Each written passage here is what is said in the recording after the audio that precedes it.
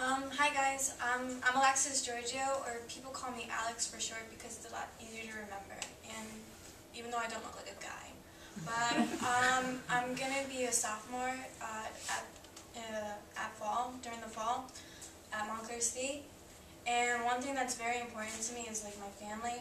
Um, as we said, as I said in the last class, I'm first generation here, meaning my mom was born in Cavan, Ireland, and she grew up there most of her life until she came over here with uh, her family.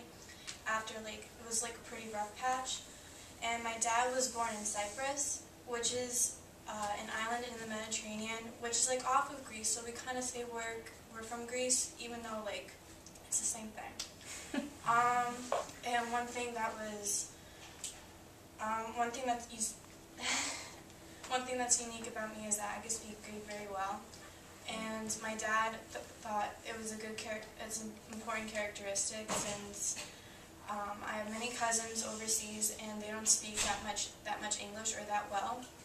So he tried sending me to Greek school for seven years. It didn't really turn out pretty well. So he sent me to Cyprus for the summer to live with my cousins and aunts and uncles. And has any of you guys seen the movie My Big Fat Greek Wedding? And that scene where Toula tries to bring Ronnie and Harry to meet the family, just her parents, but then like it turned out to like this big party in the front of their lawn cooking lamb on on the on the spit. It's kind of like that, and um, that really got me more familiar with the language, and it also helped that I now work at a Greek restaurant. I'm a hostess, so it's a lot easier for me to like learn the language since I have to force to learn it. Um, my the one funny thing about it is my father and I are the only two people in my family to that learn the language. So whenever we get into fights, it's legit like all hell broke loose. Like you know, when we're fighting, you stay away from us when we go all Greek.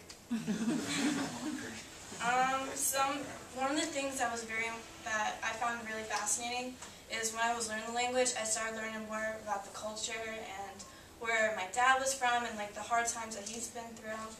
So it kind of got me more interested in history, and that's how like it connected. Like I want, I knew for sure I wanted to teach history because of that, and just going, just going uh, to Cyprus and learning all the fascinating uh, ruins and buildings and temples and the stories behind it. So it kind of like really connected well, and it found out like what I really want to do in the future. So thanks.